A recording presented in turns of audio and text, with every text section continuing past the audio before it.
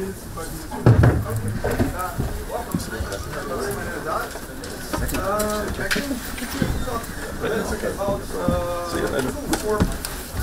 about performance. Let's start, well, let's start with the picture that everybody should know by, by heart. This is, this is the top 500 performance by the year. This image is not that good. But what we have here is that uh, if we look behind, if we look to the past 10 or 15 years uh, ago, what we had was machines that were the number one in the world, and they are probably as fast as your notebook today.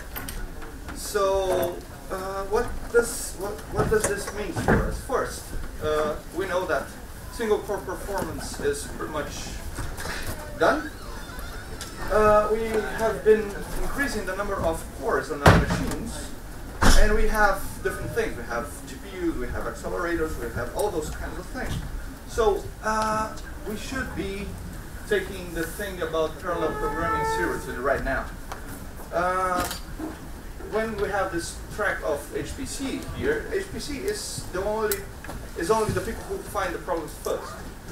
Uh, the same problems that HPC people find today in 10 years is what people doing normal programming will, will find. Um, so, besides that, it's not exactly getting easier. Uh, program, parallel programming is hard, first, and we have new things. We have now those accelerators, we have GPU programming. When we get to faster scales, it, we always find new problems. Uh, we have also, with the increase of performance, we have increase of, of data. And no matter how fast we have machines, I/O is still a problem. Besides that, uh, it's hard to understand what we have when we measure performance on, on parallel programming. For example, this is an old code called Sweep3D. When we run it with 256 cores or 256,000 cores, what each core does is pretty much the same. The rest is just waiting for communication. Uh, of course, performance analysis is not something new. Uh, there are several of them, but when you start to get to the scale that we are today uh, of petaflops and exaflops eventually in the next five years or so, uh, most performance tools stop working. Uh, for example, Kojak is an old uh, performance analysis tool. was is very old. It doesn't. Uh, it's not kept anymore, but it's like 16 years old. Uh, my group has a, has a performance tool called Scalasca, which started in, in seven years ago. And what's the idea of it? The idea is to have a performance analysis that scales itself. Means that you have faster code, we have uh, a tool that can actually go with your code. Uh, it's a work from the, the Research Center of Jülich, Germany, which has one of the biggest supercomputers in Europe. And so it has to run there. Uh, what about it? It's, it's new BSD. It's portable, it runs on pretty much everything. It runs on, on PCs with Linux, and it runs on the biggest supercomputers in the world. Uh, it supports Fortran, C, C++, it supports MPI, OpenMP, both. Uh, and what do you have that other performance tools don't? Uh, our, our analysis are scalable, they, they really go to high levels. Uh, we can search automatically for wait states in your codes, and we show uh, reports of, of parallel performance. And more, more important than that, it's insightful. You can actually understand what's going on. Uh, what do I mean by insightful? Let's see an example of a code. This is a very simple code with another tool called Vampir, developed in Dresden, where one process sends a message to everybody, everybody uh, answers, and this is easy to understand, right? But then, if you have a real code, it looks more like this. Or this. and oh this. So it doesn't it doesn't it's not actually that easy to understand. So let me show you our workflow. what do we have? We have our source code. You instrument your source code. You have a binary. You run this binary. This binary will be measured. You have a summary report of it. And then it will have our GUI tool called Cube that shows you what is the problem, where in your code, and in which process in, in, in the execution. With that, you reiterate, you optimize your, your, your measurements, and then you run a full trace of this thing to know all the problems of your, of your code.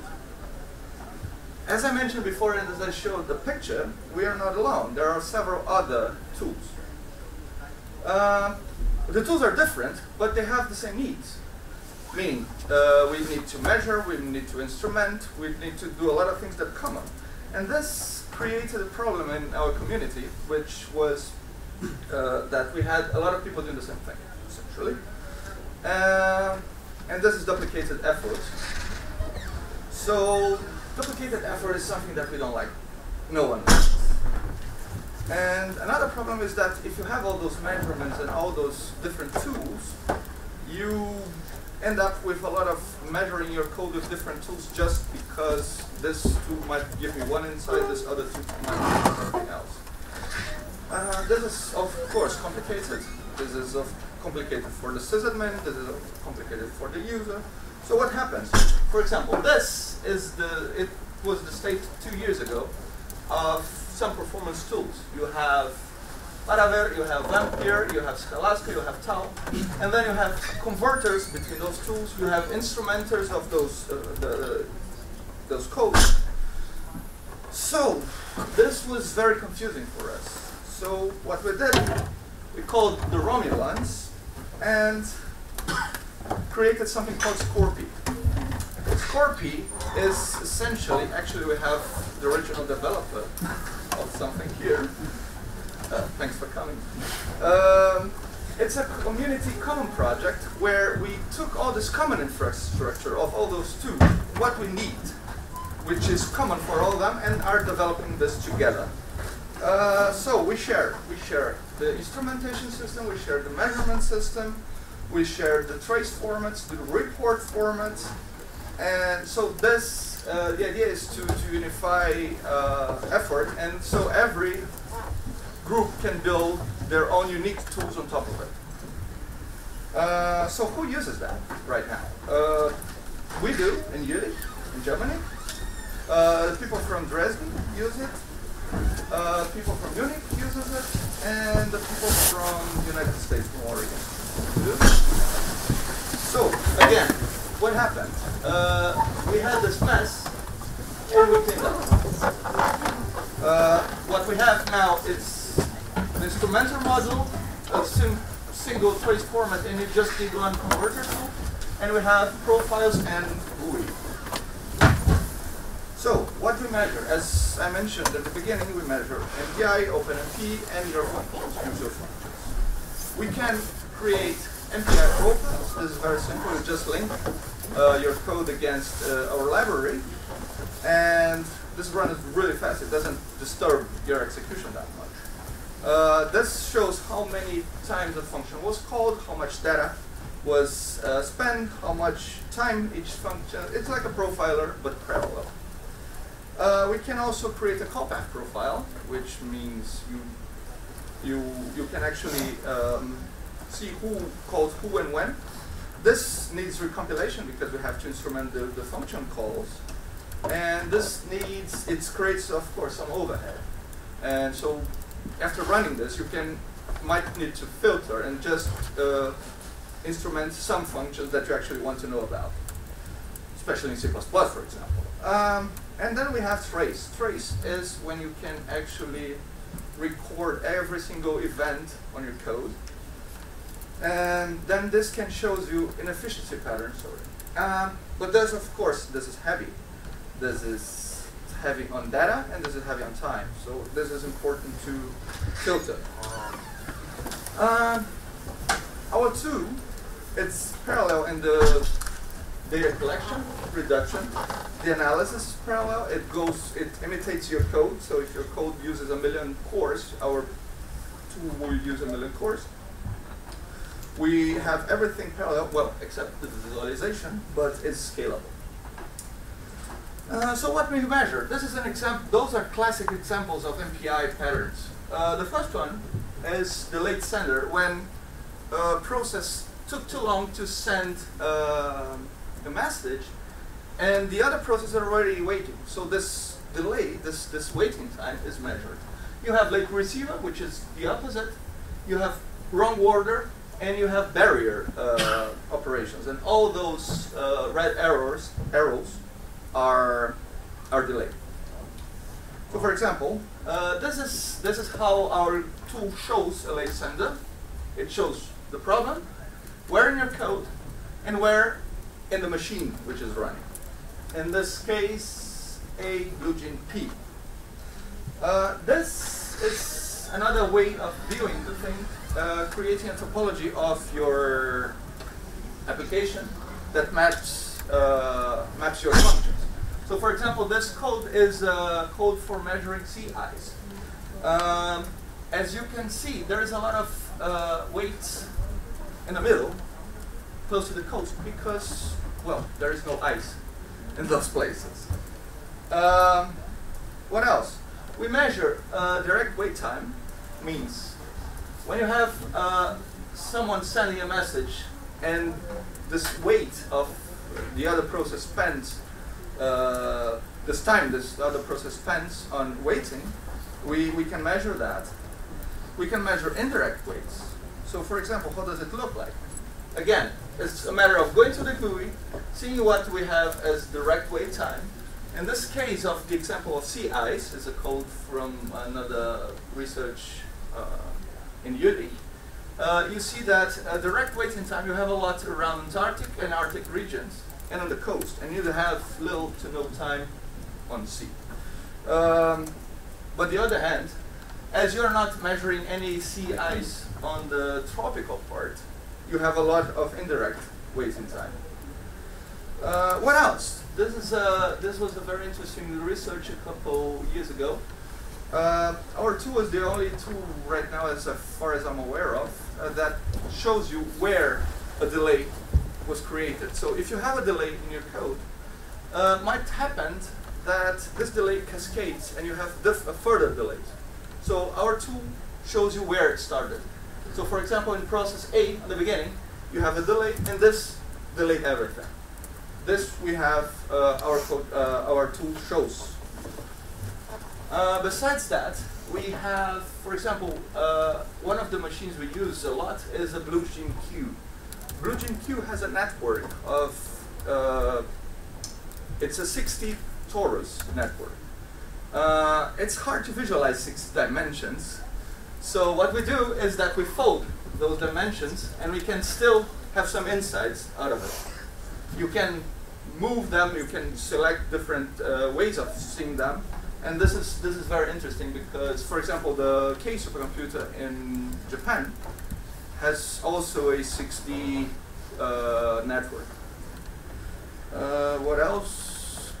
Well, so where are we heading now?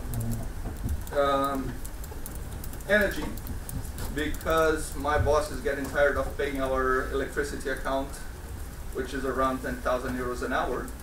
Um, so we have to produce code that is aware of energy. Another thing is to bring performance analysis of parallel applications to the community. So what does it mean? Uh, as I mentioned in the beginning, we have no, uh, the open source world is starting to need that. You have to program parallel right away. So that's, that's why we are here. Seriously, we are here for, for that. Uh, and, well, essentially that's it. Uh, any questions, we have a mailing list. There is a lot of very smart people uh, wishing to answer your questions. And this is our website. Uh, actually, that's it.